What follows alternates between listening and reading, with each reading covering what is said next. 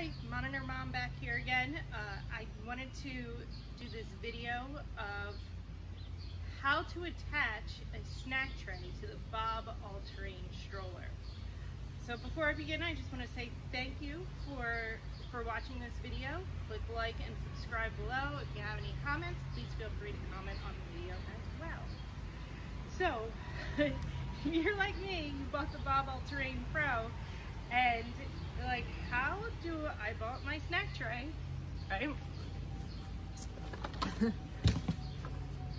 I bought my snack tray, and where are the holes to put the snack tray in? Took me a while to figure this out. So, um, we actually had the Chicco car seat adapter, and that will fit the snack tray.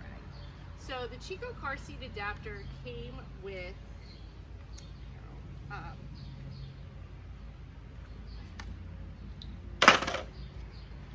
take these all out here.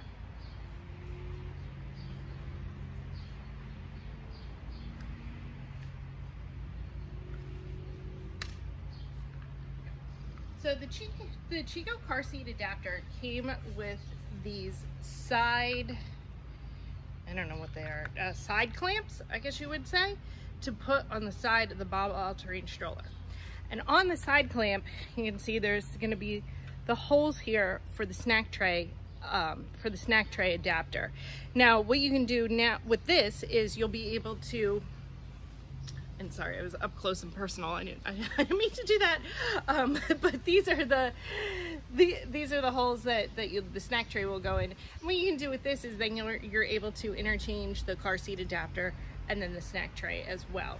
So we have the, this is the Chicco Bravo uh, car seat adapter that we've had. So what we'll do here, here is there's a right side and a left side. So we click in the side clamps.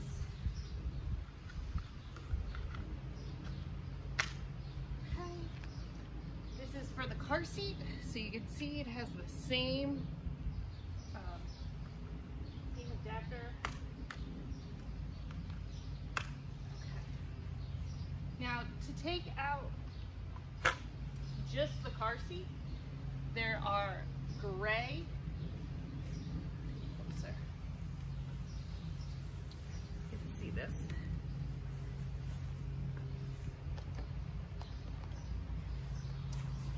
There's gray, the gray um, button right here that will release the car seat.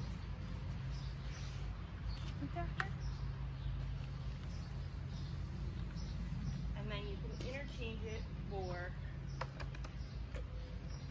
the snack tray.